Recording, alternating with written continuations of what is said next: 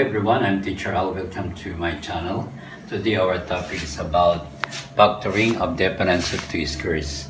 The indicators of difference of two squares is the minus sign and the square. Minus sign and the square. Minus sign and the square. So, to find the factor of difference of two squares, we're going to use two parentheses first. We will make two parentheses first. Then one for positive and one for negative. Okay? Now we're going to get the factor of 121. So the factor of 121 is 11 times 11 equals 121. So we have 11 and 11. Then 11 times 11 equals 121. And the factor of b squared is b times b equals b squared. So therefore our answer here is b and here is also b. And the next is the factor of 4 is 2 times 2. So 2 here and 2. Going to check 11b times 11b equals 121b squared. Then positive times negative equals negative. 2 times 2 equals 4. Okay? Next is the same process to find, to factor the difference of these squares. We will write first the two parentheses. Or we will make first two parentheses and one positive and 1 negative. Then we're going to find the factor of 64. We will use uh, 8 times 8 equals 64.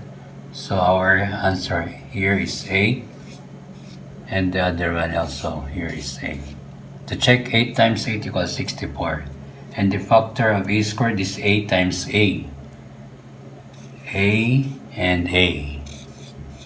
Then multiply 8 times equals c squared.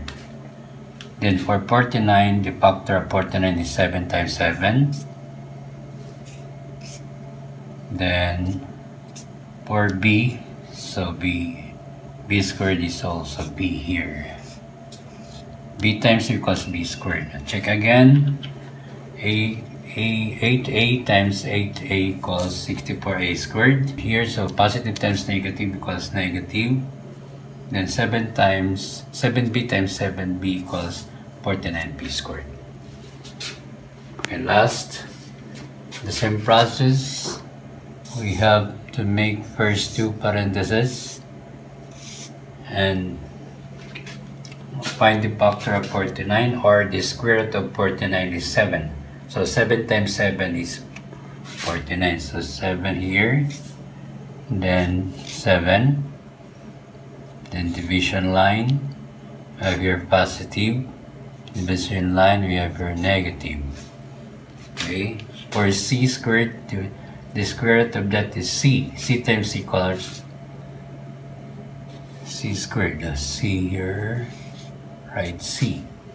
And then the square root of 100 is 10. 10 times 10 is 100. So 10 here and 10 also here and the square root of 9 is 3 so we have here 3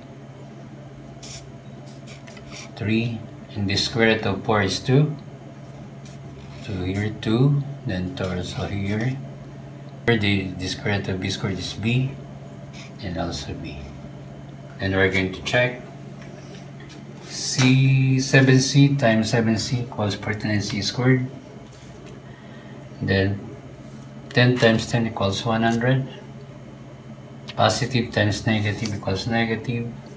2b times 2 because b 4b squared.